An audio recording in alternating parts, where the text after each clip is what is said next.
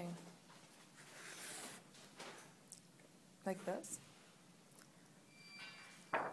Unveiled is a book about the stories of people, uh, the background stories that you don't know about. So when you meet people, you make those um, those assumptions and you create those images about them. So um, this is a book to reveal the background stories that you don't know about. Um, so first of all, this is Azza. She's uh, the the nanny, and um, Azza gives you the impression that all her life revolves about being a nanny at someone's house.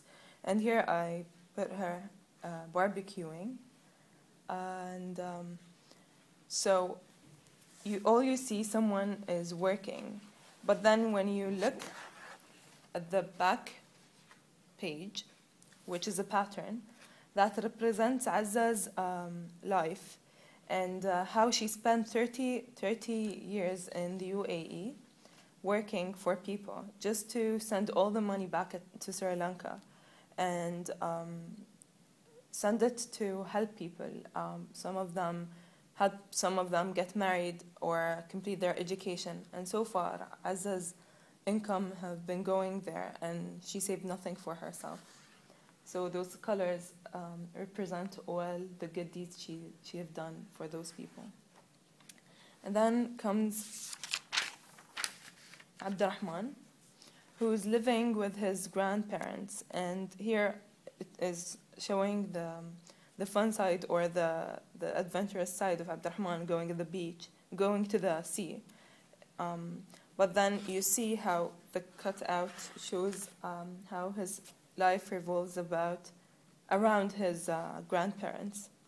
And that brings us to the grandparents who um, have the, the um, very cultural pattern and um, to tell or to show how, how their life used to be about the, the, the um, environment about them, about the people around them, the community.